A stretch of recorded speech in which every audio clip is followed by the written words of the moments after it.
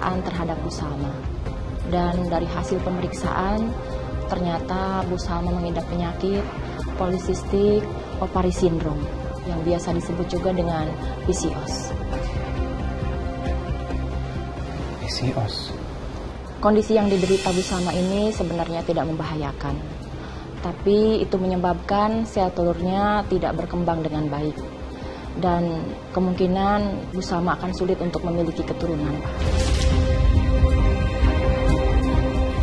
Nanti Pak Pupus sama Om Frogi yang masak, Lilia sama Miss Salma yang bantu-bantuin bahan-bahannya.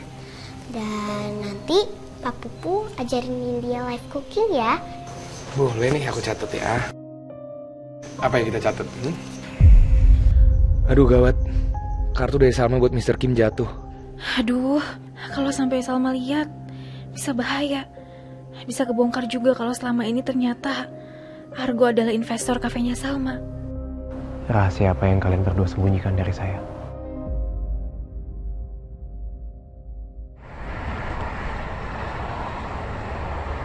Enggak. Salma nggak perlu tahu soal ini. Bahwa dia ternyata mengidap PCOS dan akan sulit punya anak. Aku justru harus meyakinkan Salma bahwa aku nggak apa-apa. Aku nggak perlu punya anak. Bahwa dia seorang aja udah cukup untuk aku. Dokternya bilang, kamu cuma kecapean doang kok sayang.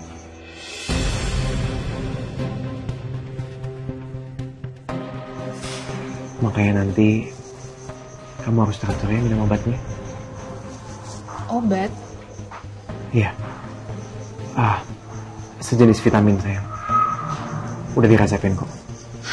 Alhamdulillah. Aku udah takut banget loh, Mas. Aku takut ada ada masalah sama kandungan aku. Makanya selama ini aku nggak hamil-hamil.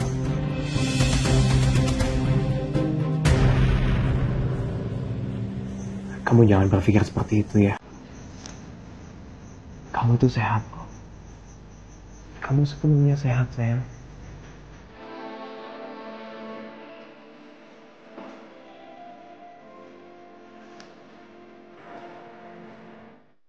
Mungkin kamu seperti ini karena kamu kepikiran terus ya sama kata-kata aku. Belakangan ini kan aku sering banget ngomongin tentang program hamil.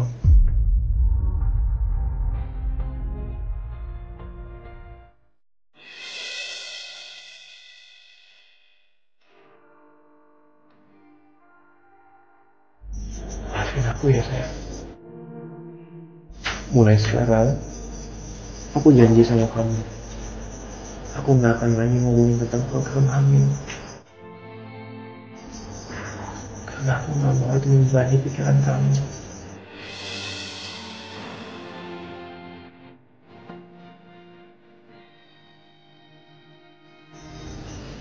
Begitu sih ngomongnya. Aku gak merasa terbebani kok. Aku juga pengen punya anak, Mas. Pengen banget.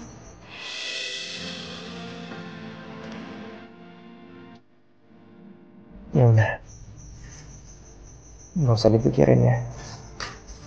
Nanti kalau memang udah waktunya, pasti akan dikasih kok. Lagi pula, kamu itu yang terpenting. Nggak ada yang lain.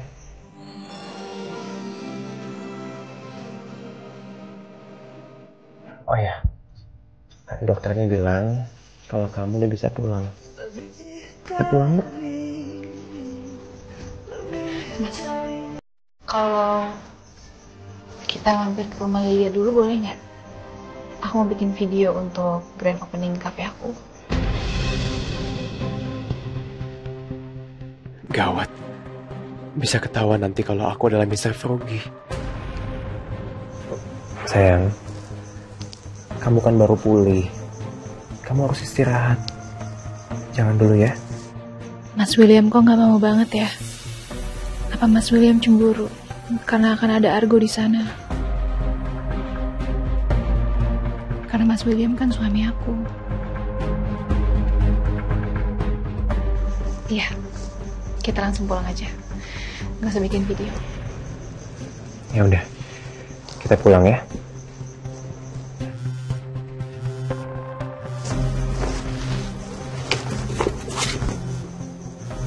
Oh ini chef yang mau kerja di cafe aku. Aku angkat sebentar ya mas. Mhm. Halo chef, ada apa? Bu Salma, apa Ibu bisa datang ke lokasi tempat saya berada sekarang, Bu? Dan kebetulan saya lagi ada di sebuah kafe yang sangat estetik, Bu. Dan menu-menu di sini mungkin cocok, Bu, kalau kita tambahkan di kubu kafe kayaknya, Bu. Sebentar ya chef. Mas, bisa nggak kamu antar aku ketemu sama chef ini? Dia sepertinya mempunyai ide untuk menu-menu di kafe aku. Lagi pula kan tanggal grand opening udah sebentar lagi, besok. Ya udah, nggak apa-apa. Asal kamu jangan kecapean ya.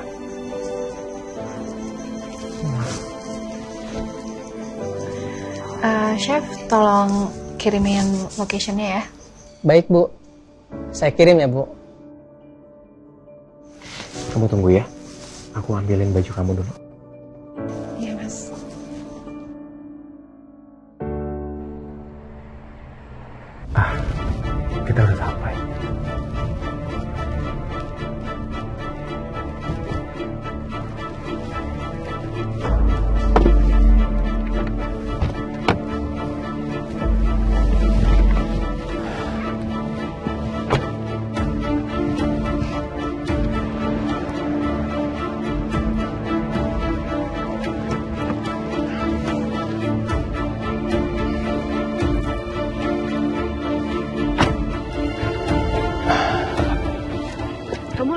Aja nggak apa-apa, Mas.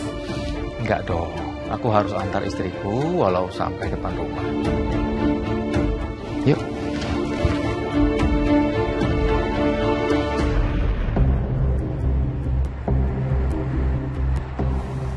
Sayang, kamu yakin kafenya lewat sini?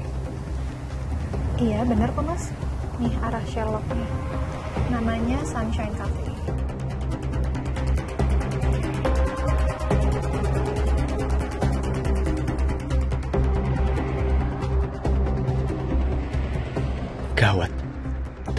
Kafenya deket sama tempatnya Dinda. Kalau Salma lihat Froggy Burger dan mau mampir untuk lihat Mr. Froggy yang Lilia ceritakan itu gimana? Atau lebih parahnya lagi, kalau Salma malah mau mampir ke rumahnya Dinda untuk bikin video Lilia, Mr. Froggy, Salma dan Argo. Ih, Mas, ada Froggy Burger tuh di situ.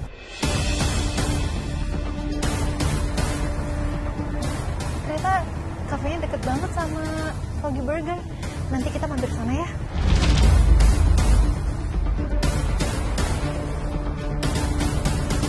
Tadi aku lihat kayaknya rame banget. Terus dia bilang burgernya enak. Jadi aku penasaran. Mampir. Kemarin kan aku sempat di sana. Manajer di sana pun juga sempat ketemu sama aku. Dia tahu wajah aku, dan aku belum sempat briefing apa pun ke dia. Kalau Salma sampai ngobrol sama dia, Salma bisa curiga. Lagian, Salma kan nggak boleh makan junk food. Tadi dokter juga bilang kalau Salma harus jaga lifestyle yang baik kan? Eh, Sal, kamu, kamu kan baru pulih. Kamu nggak boleh makan junk food dulu ya. Kita atur pola makan hidup sehat dulu, oke? Mas, aku cuma mau cicip sedikit aja. Soalnya Lilia bilang enak banget. Kan sekalian buat referensi kafe aku juga. Eh, ya udah kalau gitu nanti aku pesenin aja ya. Kita delivery ke rumah. Ya kita nggak usah ngantri juga. Mas, kalau makan langsung di sana tuh aku bisa ngerasain vibes-nya seperti apa. Terus cara penyajiannya seperti apa. Buatnya kayak gimana. Kan aku sekalian belajar, Mas. Buat kafe aku.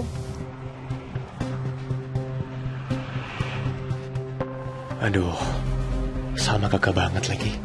Gimana ini? Tonton tayangan favoritmu mulai dari sinetron, film, hingga siaran olahraga di mana pun dan kapan pun. Semua ada di video. Yuk download aplikasi video sekarang.